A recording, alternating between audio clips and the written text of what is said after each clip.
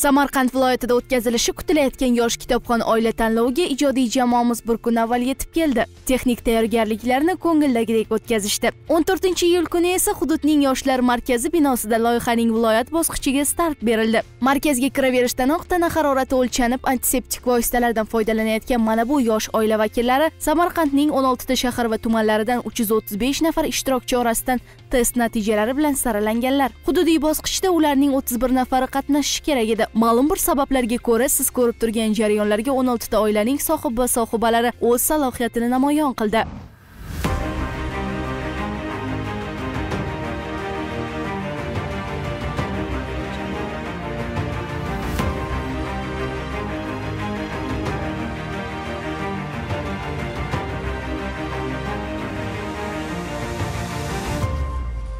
Biz boshladik.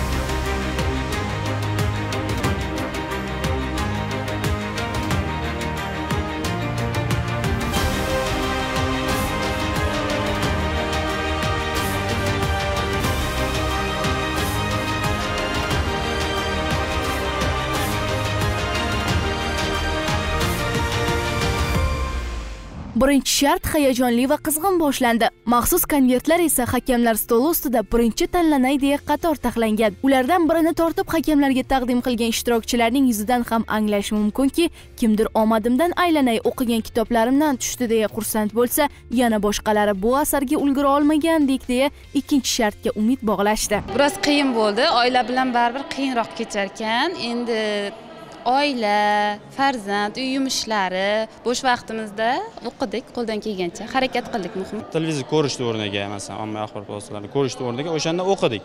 Kuniga shu uch soat ikki soatda. Undan tashqari o'zbek oilasida kutilmagan har xil to'ylar bor ma'rakalar bor o'sha narsalar chiqdi va o'zi dastlab boshlaganimizda bir ishtiyoq bilan kirishdiku keyin e, tezda bo'lib qoladimi? Ulgurolmay qolamiz degan umid shunaqa tahlikalar bo'lib qoldi degan yaxshi tayyorlanmay qoldik deb o'ylaymiz menimcha. Oxirida susaytirib qo'ydik. G'ulomjon hayotxon matqovul dilshod kabi obrazlar qaysi asarda uchraydi? Farg'onada tong otguncha. Farg'onada tong otguncha. Farg'ona tong ha otguncha. Farg'ona tong otguncha. O'ttizta kitobdan yarmini o'qiganman deya olamanda endi aynan hozirgi vaqtda emas oldin ham o'qiganlarim bor ichida keyin ikkalasiga ham javob berolmaganim hayajondanmi deb chunki asarni o'ziga men yopishib oldimda usmon nosir xayolimga kelmadi asar qahramonini javob beraman deb shuning uchun javob berolmadim deb o'ylayman Siz 30 ta kitobdan nechtasini o'qidingiz? Bir 5 tasini o'qidim. 30 ta kitobdan. Lekin javob berdingiz bitta savolga. Bitta savolga javob berdim, bittasiga javob bera olmadim. ishtirok o'zim oldin ikki marta ishtirok etganman e, yosh kitobxon tanloviga bu yil birinchi e, bo'layotganligi uchun tashabbus bilan qiziqdim va oilaviy chiqishga nima deydi orzu qildimda e'tiborli jihati ilk bor prezident tashabbusi bilan o'tkazilayotgan mazkur loyihada yosh oilalarning kitobxonlari bilimdonlari anchagina keling ana shunday qahramonlarimizdan biri bilan tanishtirsak davlat ishida bo'lganim uchun kitob o'qishga unchalik ko'p vaqtim bo'lmadi iloji boricha shu o'qib audio bo'lsa ham o'qib bunaqa qilishga tayyorgarlik ko'rishga harakat qildim 80 ball e, maksimal ballga qariyb 20 ball kam degani yaxshi natija yomon emas. Bu kimni natijasi? hozir bu natija to'g'risini aytsam ayolim natijasi Nechta kitobni o'qib tugatdingiz? yigirmatadan ziyodini o'qiganman Э, qolganlari bilan ham qisman tanishmanu to'g'ri to'liq kitobni o'qimadim lekin. Demak, bugun e, ikkinchi shartda siz bilgan e, kitoblardan, o'qigan kitoblardan savol tushdi. kitoblardan savol tushdi. O'zi bizni sohamiz ham aynan mana shu soha yo'nalish bo'lganligi uchun e, ko'p asarlar menga tanish. Filologiya fakultetida magistrman Siz nima ish qilasiz? man xalq ta'limi boshqarmasida psixologiya bo'limi boshlig'iman. Ko'proq kitob o'qishga man ham harakat qilaman kamchiligimizni ko'rdik to'g'risi O'zi taklif kimdan chiqdi? Sizdan chiqqan manimcha adashmasam, ishtirok etish. chiqqan o'zim aynan mana shu nima tanlovga juda qiziqqandim yosh kitobxon tanloviga ham bu yosh kitobxon oila tanlovi aynan ikkalamizga ma'qul tushdi. Kamerasini tutgancha atrofni aylanayotgan operatorimiz ma'naviyat durdonalari bilan hamnafas oilalarni muhrlashda davom etar ekan. Kutish zallarida kimdir kitoblarda to'xtab qolgan joyida davom etayotgan bo'lsa yana boshqa ishtirokchilar undan olgan ko'nikmalarni takrorlamoqda. Oila boshlig'iyu bekalarni sinov maydoniga chorlagan studiyadan aytilgan har bir fikrni ham e'tibordan chetda qoldirishmadi. O'rnatilgan monitorlar esa jarayonlarda kim topqir kim hayajonlanyapti. Xullas o'tayotgan barcha voqelikni boricha ko'rsatdi. Abu nasr farog'biyning fozil odamlar shahri asarida fozil shahar hokimida nechta fazilat bo'lishi kerakligi ta'kidlanadi. Vaqt ketdi. Yettita emasmi javob noto'g'ri afsuski o'n ikkita fazilat. Tezkor savol javobni muvaffaqiyatli yakunlagan tanlovda berilgan asarlar haqida to'lib toshib gapirayotgan ishtirokchilar orasida katta qo'rg'ondan qatnashayotgan xayrullayevlar oilasi bilan tanishishga kirishdik. Bu oilaning tanishuvini o'zi ham kitobdan boshlangan ekan. Xo'sh baxt qo'rg'oni mustahkam bo'lishida ular qaysi asarlarni tavsiya qilishadi? Birinchi o'rinda aytishim kerak bo'lgani baxtli oila asari hisoblanadi. Ikkinchisi abdurauf fitratni oila asari hisoblanadi. Bunda ham men judayam ko'p keng ma'nodagi birliklarni oldim desam o'zimga e, bo'laveradi. Sabab o'sha asarlar ichida e, kundalik elementar muammolar yuksak ochib berilgan hisoblanadi. Bundan tashqari jahon adabiyotida ham murojaat qilingan asarlar bor. O'shalardan bittasi goriyota yaqinda tushdi. O'sha asardan tushib qoldim. Bizni omadimiz kelmadi.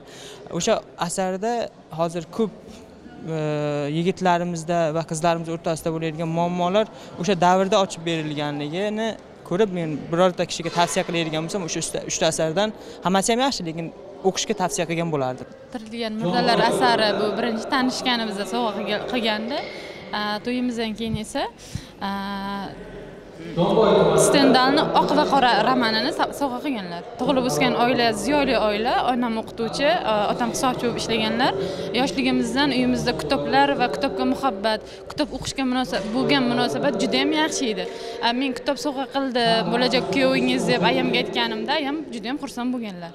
Spark samarqandga kattaqo'rg'on shahriga keladigan bo'lsa kim haydaydi uni?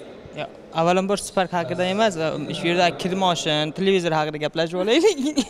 Chunki shu agar uchinchi o'rinda olsak ham xudoga shukur qilamiz. Chunki bu yerda respublika bosqichini olish o'zi bo'lmaydi. Uning uchun juda yam qattiq tayyorgarlik ko'rish kerak deb hisoblayman. Masalan uchinchi savolimda berilgan savol bu kitobni ichidan tushmay ketdi. Ya'ni adib o'zini hayot ijodidan tushib ketganligi sababli men adib o'zini ijodiy hayotiga uncha e'tibor bermagandim. Tanlov o'tgan hududlarga e'tibor beradigan bo'lsak turli soha vakillari orasida yong'in xavfsizligi xizmati xodimlari ko'plab vatanimiz himoyachilari ham oilalari bilan qatnashmoqda. Bu hududdan ham hattoki ularni qo'llab quvvatlash uchun harbiy qism mayorlariyu yelkadosh xizmatchilari xuddi o'zlari javob berayotgandek shartlarni kuzatishmoqda. Teshayevlar oilasi ana shu muxlislari bilan e'tiborimizni tortdi. Eng muhim bilasizmi? Bu oilamizda ayolim bilan meni savollarim o'rin almashganda natija yaxshi bo'lardi. Ya'ni bu kishini savollariga men javob bera olardim meni savollarimga bu kishi javob bera olardi.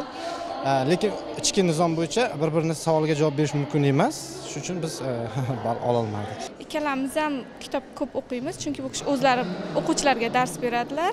Men ham psixolog bo'lganligim uchun psixologiya ham bitirganligim uchun ko'p kitob mehr qo'yganman. O'zi dadam yoshlikdan kitobga mehr uyg'otganlar bizlarda. Tashkilotchilarga ham rahmat shu o'rinda. Bu juda yaxshi imkoniyat. Yosh kitobxon bor. Muntazam kuzatamiz savollariga o'zimiz o'zimizcha javob beramiz. Yosh kitobxon oilani e, joriy etilganligi bu juda quvonarli bo'ldi. Mayli kimdir olsin sparkni qayerdandir olsin lekin e, baribir haqiqatda o'qigan o'z kuchiga ishongan oladi lekin shu bitta spark bilan respublikaning qancha oy qancha qancha oilasi shu kitoblarni o'qidi. Masalan bitta fitratni oila tohir malitni kelinlar daftariga o'sha oilani jipslashiga o'rnak olishga ibrat olishga sababchi bo'ladi juda katta natija bu. Ha eshitganingizdek bu tanlovga spark uchun yoshlar qatnashyapti deb o'ylasangiz adashasiz. Ularning ko'pchiligi yuqoridagi qahramonlarimiz kabi bilimlarini baholash uchun o'z salohiyatini namoyon etmoqda. Abdulla qodiriyning o'tgan kunlar asarida qo'polg'ina qirq besh yoshlar chamanlik xotin deb ta'riflangan qahramon kim? To'ybeka javob to'g'ri. Badiiy asar bilimdoni bo'lish uchun sinov maydoniga otlangan oilalarga ikkinchi shart biroz mushkul kechdi. Biroq ushbu shart g'oliblarni aniqlashda g'albir vazifasini o'tadi. Judayam shaffoflikda shunchalik bir qiziqarli o'tyaptiki yosh kitobxon oila tanlovida ishtirok etayotganimdan o'zim ham juda yam xursandman. Chunki mana tanishlarim ko'pchiligi mana shu institutda o'qigan kursdoshlarim hammasi shu yerda eng bilimdon zukko e, qatnashchilar shu yerda ekan hammasi. U demak savollarni ham ko'rdik. Savollari ham ancha e, nima deydi yaxshi tuzilgan. E, xursandmiz qatnashayotganimizdan birinchi shartdan keyin natija qanaqa bo'ldi? Birinchi shartga kirdik. Birinchi shartga hay natijamiz ozroq past bo'lsa ham lekin ikkinchi shartda nasib bo'lsa yaxshi ball yig'ishga harakat qilamiz. Uyda oilada kim ko'proq kitob o'qiydi? Sizmi ayolingizmi ko'proq ayolim o'qiydida kutilgan fursat yetib keldi. G'oliblar aniqlandi. Unga ko'ra birinchi o'rinni jami bir yuz qirq ball bilan narpay tumanidan omonqulovlar oilasi ikkinchi o'rinni jami bir yuz o'ttiz ikki ball bilan kattaqo'rg'on shahridan xayrullayevlar oilasi uchinchi o'rinni jami bir yuz o'n olti ball bilan ishtixon tumanidan toshnazarovlar oilasi qo'lga kiritdi. Biz esa tanlov o'tgan hududlarda respublika ishtirokchilariga kelgusi bosqichda omad tilab har birini munosabatini o'rganib yo'lga otlandik. Navbatdagi viloyat esa qashqadaryo tandirlari bilan mashhur zamin. Xo'sh xaritamizning bu manzilida kutib olish uchun shay turgan kitobxon oilalar tanlovga tayyormi? Kelgusi dasturlarimizda albatta to'xtalamiz.